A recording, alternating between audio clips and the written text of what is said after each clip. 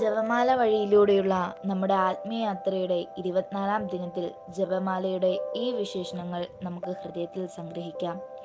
ജപമാല ദൈവജനയ്ക്ക് ഏറ്റവും പ്രിയങ്കരമായ ഒരു പ്രാർത്ഥനാ സംഹിതയാണ്.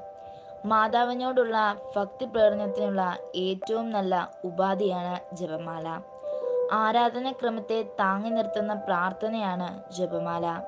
സ്നേഹമുള്ളവരെ പരിശുദ്ധ അമ്മയ്ക്ക് ഏറ്റവും പ്രിയങ്കരമായ ഈ ജപമാല പ്രാർത്ഥനയിൽ നമുക്ക് ആഴമായ വിശ്വാസത്തോടെ പങ്കുചേർന്നുകൊണ്ട് നമ്മുടെ അമ്മയോടൊപ്പം സ്വർഗത്തോടൊപ്പം ലോകം മുഴുവനും വേണ്ടി മാധ്യസ്ഥം വഹിച്ച് പ്രാർത്ഥിക്കാം.